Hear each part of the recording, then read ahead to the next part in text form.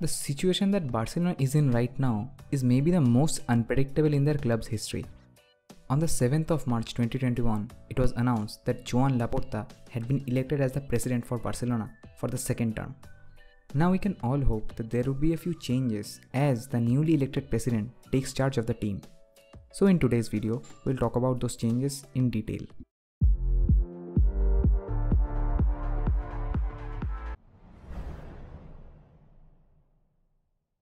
Now at the time of making the video, Barcelona is only 2 points behind of the league leaders Atletico Madrid with one game in hand.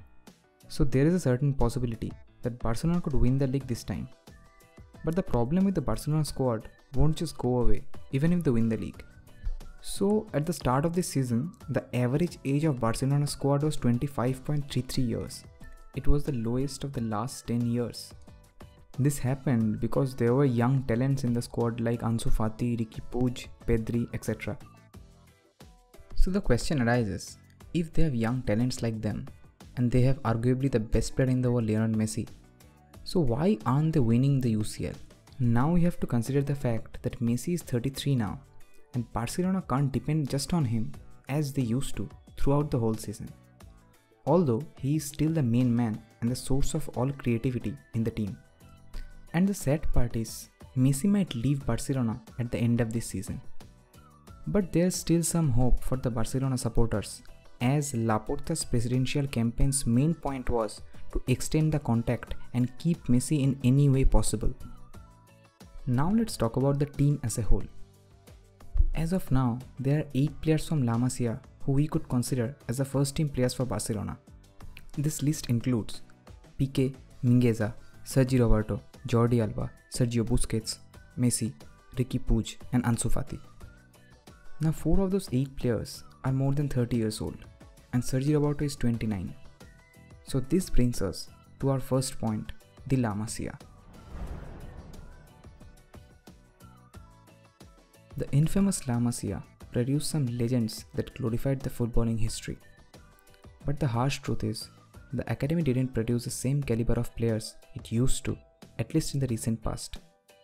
And in order to save Barcelona from their 1 billion debt, they need their homegrown talents.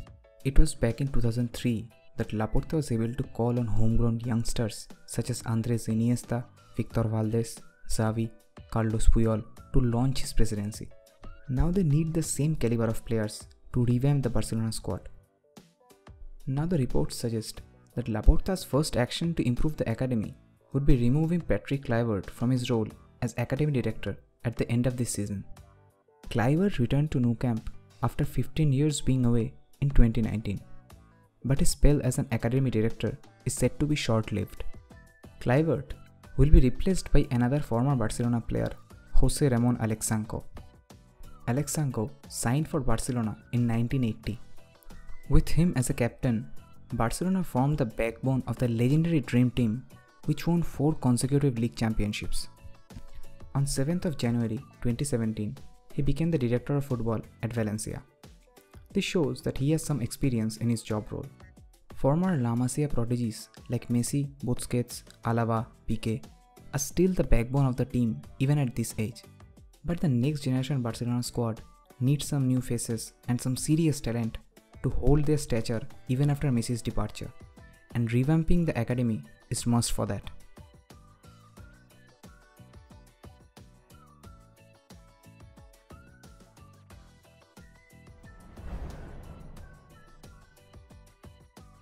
When Messi would leave Barcelona, it would be an end of an era. But the loss would be very fatal for the Barcelona squad. Because even at the age of 33, Messi is not only the top scorer of Barcelona only, he is also the top scorer of the La Liga itself. This is the reason that there's a dark cloud surges over the Camp Nou as the following summer, Lionel Messi did everything in his power to orchestrate a move away from Barcelona.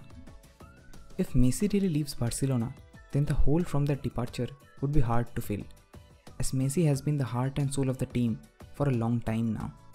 And any team in the world would suffer if arguably the best player in the history of football leaves the team. Another important thing is that those La Masia youngsters in mid 2000s had a genius Brazilian called Ronaldinho in their squad. The flamboyant playmaker made the team play in a certain way that gave the youngsters in the team a blank canvas in which they express themselves. We hope that Laporta will remember that and will understand the importance of another influential number 10 in their squad. Now Barcelona already has the perfect fit for the number 10 role in the form of Lionel Messi. Barca will obviously try their best to keep their best player ever.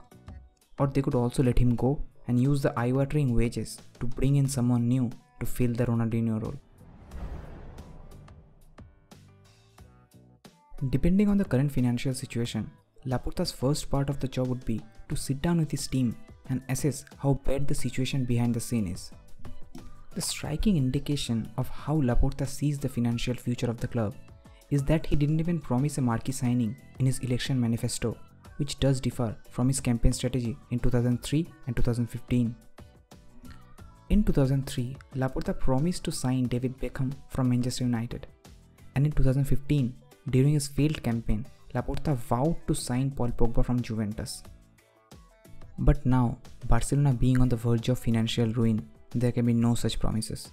In fact, Laporta's election win was built on him calling out his rivals irresponsible for planning to try and sign Kylian Mbappe or Erling Haaland whilst offering no solution to pay back over a billion euro worth of looming debt. So instead, Joan Laporta has insisted that the club will rely on the famous Academy of La Masia rather than the checkbook for their next batch of superstars. One could easily say that Laporta is once again in the right place at the right time as the La Masia is in dire need of a full-on revamp. It was back in 2003 that Laporta was able to call on homegrown youngsters such as Andres Iniesta, Victor Valdés, Xavi and Carlos Puyol to launch his presidency. And this time around, the Barca fans are hoping for a similar thing to happen.